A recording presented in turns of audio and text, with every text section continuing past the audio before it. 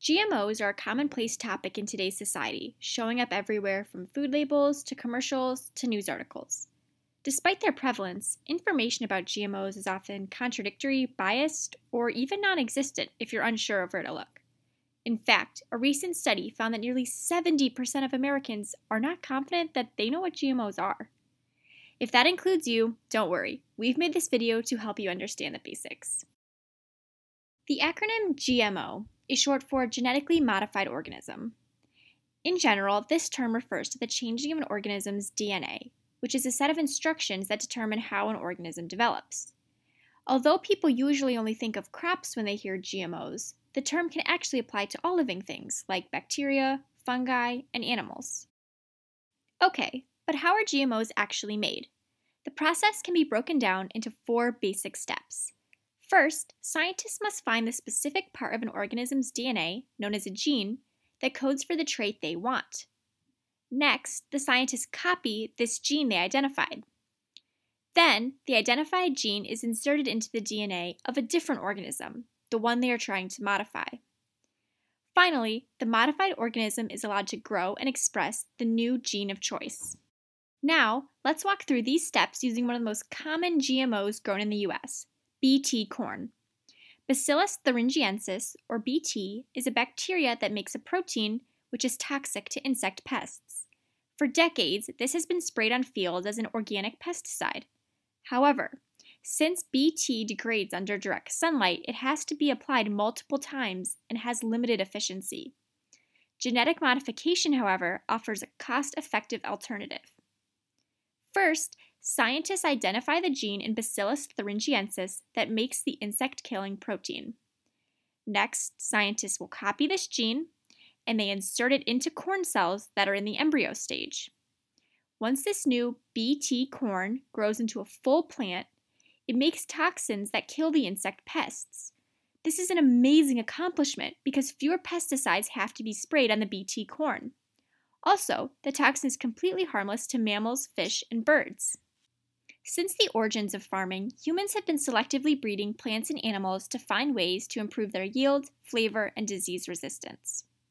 Upon a quick Google search, you can find countless articles, websites, and blogs with many different claims about whether or not genetic engineering, the process used to make GMOs, is significantly different than these conventional methods of selective breeding, which have been used by farmers for centuries. The purpose of both genetic engineering and conventional breeding is essentially the same to produce crops with improved characteristics by changing their DNA. There are, however, a few key differences between the two methods. The general goal of conventional breeding is to enhance the expression of genetic traits already present in a species. Although this can create new varieties of an organism, it is based on emphasizing traits that already existed in that organism's species. In the past few decades, however, advancements in biotechnology have allowed breeders to make more precise and efficient modifications using genetic engineering. The foods that result from these newer techniques are what we typically call GMOs. Genetic engineering allows for the insertion of new genes from species different from the one that is being modified. So, why are we turning towards GMOs instead of sticking with conventional methods? Well, for one, the desired characteristic, like pest resistance in the case of Bt corn, might not be present in the organism's actual DNA. Therefore, no amount of conventional breeding could ever result in resistance. In addition, genetic engineering is far more precise and can result in expression of the desired characteristic way sooner than generations of conventional breeding ever could. GMOs are still a relatively new technology, so it is understandable for consumers to be wary of the unknown. One common concern is whether genetically modified crops and animals are safe to eat. What many consumers do not realize, however, is the amount of extensive testing that goes into GM products before they can become commercially available. Virtually all GMO products are altered by only one or two genes that synthesize one or two new proteins, and the origins and effects of these proteins are thoroughly researched. Scientists work hard to ensure there are no unexpected consequences of these genetic modifications, including testing for potential allergic reactions. In general, scientists agree that GMO crops have no more risk than crops created through the conventional farming methods we discussed earlier.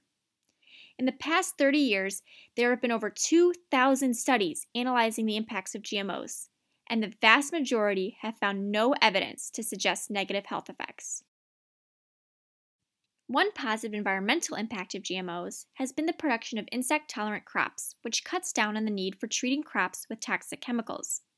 In addition, it results in increased crop yield that can reduce the amount of land devoted to agriculture. Thanks to these characteristics, GMOs have already saved entire farming industries from collapse, and they have the potential to address many crises on a global scale. For example, in the 1990s, the Hawaiian papaya industry was almost wiped out by the papaya ring spot virus. Between 1993 and 2006, production fell by over 50%, and many small family farms were struggling to survive. Things were looking grim until Dennis Gonsalves, a Hawaiian born scientist at Cornell University, developed a genetically modified papaya designed to be resistant to the virus. After a careful trial run, it became clear that his genetically modified rainbow papaya was the solution to this crisis. A decade after the rainbow papaya became commercially available, it accounted for over 90% of all papaya production. For the local farmers, this development may have saved their business. As one Hawaiian papaya farmer said, GM papayas mean sustainability for our family farm. Information about GMOs can be really confusing and contradictory at times, especially since consumers don't get to see the countless hours of research and testing that go into every GM product you see at the grocery store. This is why learning the science behind the technology can be incredibly helpful. Hopefully this video has helped you understand the basics of GMOs and will make it easier for you to navigate through all the websites, commercials, and stories on this controversial topic. If you're interested in learning more about GMOs, please check out some of these helpful sources.